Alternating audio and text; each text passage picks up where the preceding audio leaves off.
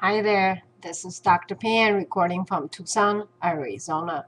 Hope life is treating you well and thank you for watching this clip on double angle formula for tangent function. So we're given that tangent alpha is 3 over 4 and alpha is in quadrant 3 and we're supposed to find tangent of 2 alpha. Now the trick of this problem it's uh, it's in the 2 alpha part. Tangent has this bad habit. If you get into quadrant 2 or quadrant 4, tangent is negative. So first thing we want to make sure is this tangent of 2 alpha is not in quadrant 2. Okay. Once we decide that, the rest of stuff is pretty easy. We were told tangent alpha is 3 over 4.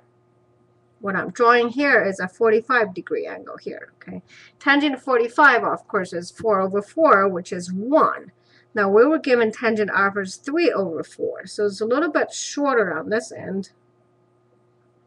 So here's our alpha. So this is 4 units and this is 3 units. As you can see, let's write it over here, alpha is equal to pi plus a little bit of theta, what we call the reference angle of theta. Okay, This theta is less than pi over 4. It's smaller. This is pi over 4. Okay. This is important because 2 alpha is equal to twice of pi plus theta. And you can see 2 pi, we don't really care, it goes around a circle. But the 2 theta part is important. 2 theta, since theta is less than pi over 4, 2 theta is less than pi over 2. So in quadrant 1 okay, which means 2 alpha is going to be a positive thing. Okay, now let's go back to the easy part. Tangent of 2 alpha is equal to tangent of alpha plus tangent of alpha. I'm not going to go through the derivation here. Um, I might mention a little bit if we have time, but overall it's a pretty easy thing once you figure out this chunk that 2 theta indeed is in the first quadrant. So you don't have a negative sign here. All right, tangent of alpha is equal to 3 over 4 plus 3 over 4, which is twice of that. Basically 1 minus 3 over 4 squared.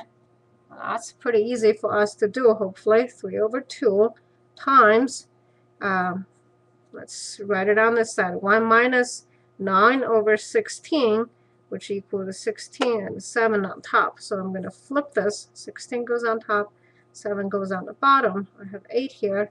24 over 7. Okay. Now, once again, I said earlier, it's important you decide if tangent alpha, the reference angle is indeed in quadrant 1. Reference is in quadrant 1. So we know that tangent to alpha is greater than 0. It's not a negative. Alright, so that's the final answer here. Alright, that's how we handle double angle formula for tangent function. Once again, from Tucson, Arizona, this is Dr. Pan making learning math fun, at least trying to. If the video has been helpful, I would appreciate a comment or a thumb up. Until next time, have a confident day.